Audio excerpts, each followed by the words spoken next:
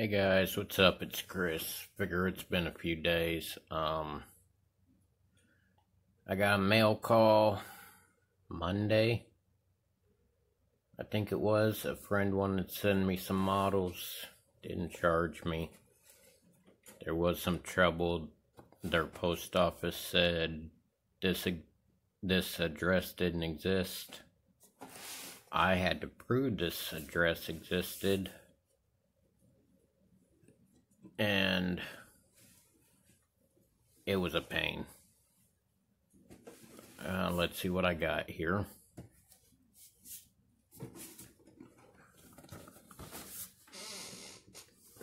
Forty-one Chevy pickup, Revell. Um, I don't think I'm gonna go with this wheel combo, all that. I do have an idea for mine in mind for it, but I'm going to leave that till around Christmas. It's going to be kind of a Christmas build, but I'm going to keep the rest to myself.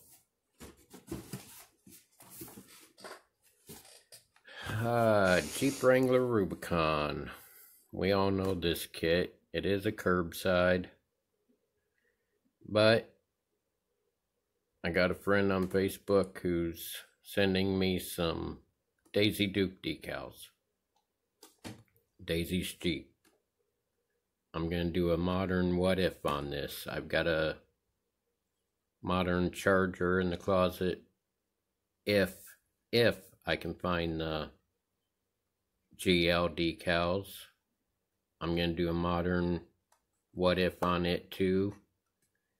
And maybe the blue Ford truck I've got as Uncle Jesse's pickup.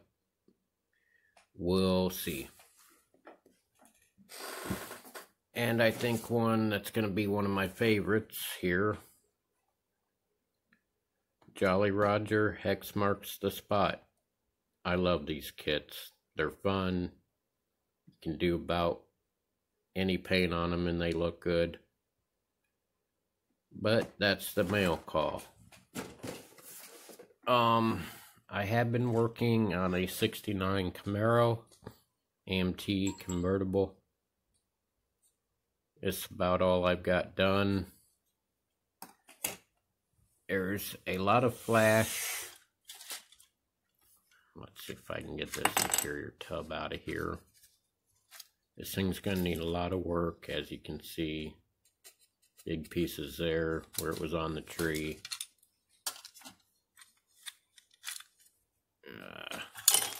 Crap out there. I have noticed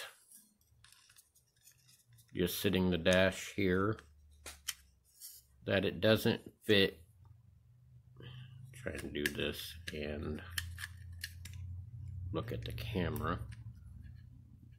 or my phone camera whatever the dash doesn't fit great so it's gonna need some modification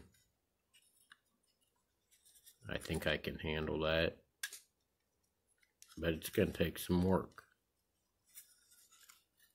Uh, here's a lot of ejector pin marks. Like here in the corners. Can we see that? No, we can't. There we go. Um, any ideas you guys got on removing those and not losing this texture that's here? Let me know in the comments. But that's about it for tonight. Um I guess Nick moved the date of completion of the rat rod build up to August so I am trying to still track down a few parts I will need to finish it. Uh, 29A grill. Um, I plan to have a skull on it somewhere, maybe somehow. Maybe I'll find a skull big enough to do a grill like the Hot Wheels T-Bone. I think that'd look cool if I can find one. But that's it for tonight, guys. Take care. Take it easy. Let me know what you think. Talk to y'all later. Bye.